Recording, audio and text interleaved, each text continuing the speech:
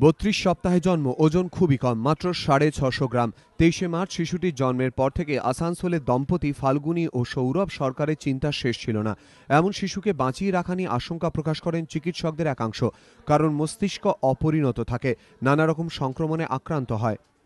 এছাড়াও নানা জটিলতা দেখা দেয়। সৌরভদের কন্যা সন্তানটির ক্ষেত্রে এমনটাই হয়েছিল। কিন্তু ইনস্টিটিউট অব চাইল্ড হেলথের চিকিৎসকদের উদ্যোগে ওই শিশুই এখন সুস্থ। পাঁচ মাসে ওজন বেড়ে হয়েছে এক কেজি ষাট গ্রাম। ছশো পঞ্চাশ গ্রাম বাচ্চা যে কোনো সময় ইনফেকশন হয়ে যায়। This are the challenges you know apnoea হয়ে যায় ইনফেকশন হয়। Brain haemorrhage is very common এদের ব্রেনের ভেসেলসগুলো ওয়েল ডেভেলপড হয় না বলে হ্যামারেজ হয়ে যায়। এনইসি যখনই ফিট স্টার্ট করি আমরা এদের পেট ফুলে যেতে শুরু করে হ্যাঁ?